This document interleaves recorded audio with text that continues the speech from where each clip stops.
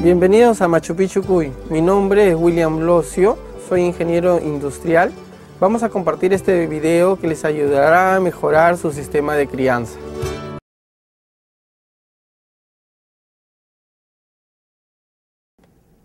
El largo de un galpón, de un galpón para los cuyes puede ser de 20 metros, de 30 metros, de 50, de 100 metros. Lo que me preocupa más recomendarles es el ancho. No recomiendo un galpón muy ancho, no más de 12 metros, recomiendo yo en mi experiencia. Porque considero que si es muy ancho, no va a haber buena ventilación natural. Entonces yo le digo y le recomiendo máximo 12 metros de ancho ni 15 ni 20 metros de ancho, no muy ancho, va a ser complicado que los animales que están en el medio del galpón se ventilen bien, ¿eh? porque es muy ancho. El largo sí, lo que usted quiera.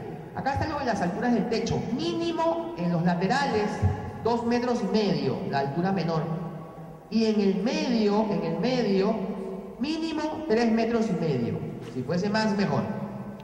El murete puede ser una posibilidad dependiendo de su clima, de su zona y de la seguridad aproximadamente 60 centímetros, pero puede ser más o puede ser menos, dependiendo de lo que usted quiera enfatizar.